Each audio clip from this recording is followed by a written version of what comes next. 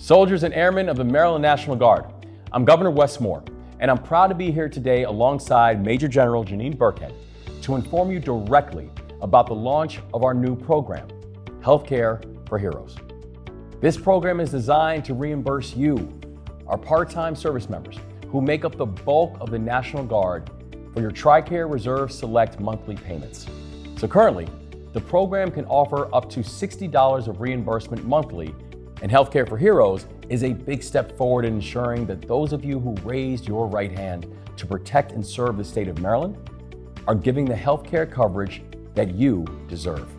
I am so pleased to see our state government passing legislation in support of our hardworking citizen soldiers and airmen. Whether you have TRICARE Reserve Select Health or their dental plans or not, Governor Moore and I encourage you to check if you are eligible for this program. It only takes a few minutes to enroll. So please, spread the word that Maryland is leading the nation with healthcare for heroes. Please encourage your fellow service members to enroll starting today.